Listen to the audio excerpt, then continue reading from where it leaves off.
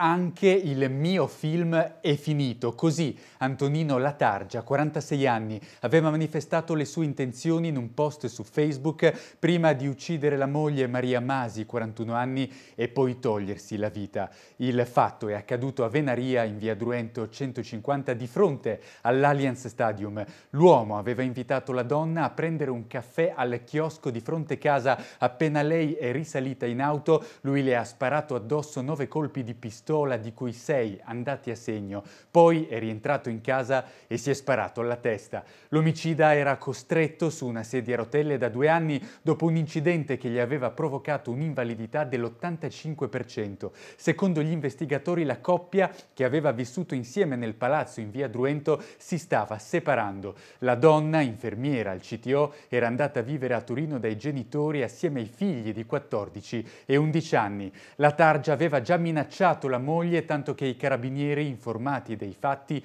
avevano segnalato gli episodi in procura, nonostante lei non volesse sporgere denuncia. Le avevano anche consigliato di non avvicinarsi più all'uomo, ma questo non l'ha dissuasa dall'incontrarlo ancora una volta, un appuntamento che le è risultato fatale. La pistola, una calibro 9 modello Jericho, è risultata rubata in casa di Latargia. I carabinieri hanno trovato una ventina di colpi, oltre a quelli sparati. Sull'omicidio di Maria Masi sentiamo le testimonianze proprio di chi lavora nel chiosco dove i due hanno preso l'ultimo caffè.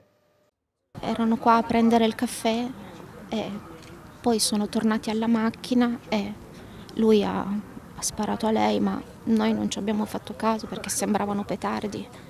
E, e poi dopo lui sulla sedia a rotelle è venuto in qua, ha chiesto aiuto a dei clienti per eh, salire su a casa, per fare lo scalino, per entrare nell'androne e dopo 5 minuti abbiamo sentito altri spari. Eh, lì abbiamo realizzato che erano degli spari. Conoscevo di vista la coppia, lei un po' di più perché era una mia cliente del bar che veniva a prendere il caffè molto velocemente al mattino, quindi non è che la conoscevo come famiglia, come coppia. Lei è molto carina, gentile, lui anche.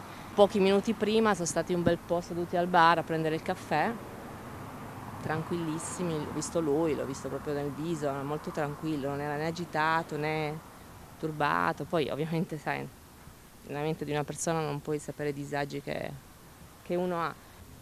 Li ho guardati perché ho detto che carini, siamo venuti tutti e due a prendere il caffè, quindi...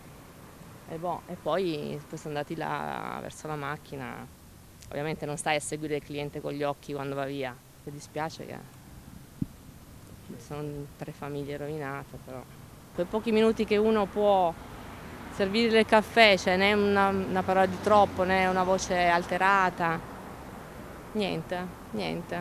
Poi dopo un po' che si sono alzati, poi po- dopo pochi minuti è successo quello che è successo, quindi per quello la gente siamo rimasti proprio po' scossi.